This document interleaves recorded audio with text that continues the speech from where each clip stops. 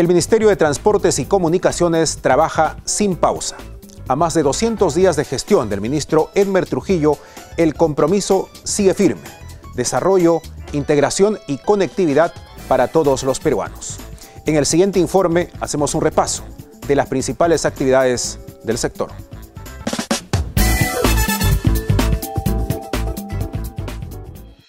Pasamos 200 días de gestión con buenas noticias. El ministro Edmer Trujillo y su homólogo japonés firmaron un memorándum de cooperación en temas de transporte. El acuerdo permitirá el intercambio de experiencia, tecnología y buenas prácticas. También la promoción de oportunidades de inversión.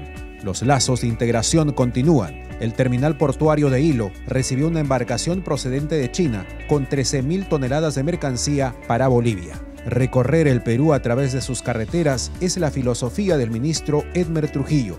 Realizó más de 12 recorridos por más de 8.000 kilómetros de vías. Se han instalado 18 puentes modulares y 40 definitivos. Más de 710 kilómetros de carreteras pavimentadas en 10 regiones del país. El MTC, a través de Provías Nacional, adquirió 3.065 predios como parte del Plan de Compensación y Reasentamiento Involuntario, PACRI. Tan solo para el proyecto longitudinal de la Sierra se adquirió 496 predios, lo que significa más que una ejecución anual de gestiones anteriores.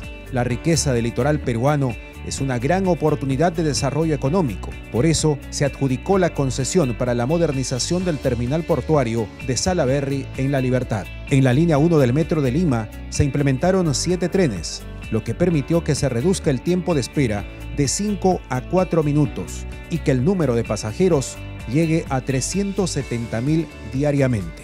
El Pleno del Congreso aprobó en primera votación la creación de la Autoridad de Transporte Urbano para Lima y Callao que busca un transporte integrado y ordenado. Hemos lanzado el plan de acción Unidos Salvemos Vidas, que tiene como objetivo reducir la alta incidencia de accidentes de tránsito en el país. Se han desarrollado 81 operativos de fiscalización. A través de Sutran se realizaron más de 19.000 intervenciones, retiraron 110 placas, se retuvieron 114 licencias de conducir y 15 tarjetas únicas de circulación pero como la conectividad no solo es física, sino a través del Internet, el MTC firmó los contratos para que localidades rurales de Puno, Tacna, Moquegua, Junín, Lima, Amazonas e Ica cuenten con Internet de banda ancha. Cerca de 4 millones de peruanos se beneficiarán con los 21 proyectos regionales que el Estado promueve para reducir la brecha digital. Asimismo, el MTC realizó el encendido simultáneo de la televisión digital terrestre, un sistema que ofrece mejor calidad de audio y video en televisión abierta completamente gratis. Tenemos muchos retos aún. Con entusiasmo y mucho trabajo construiremos sueños y transformaremos la vida de más peruanos.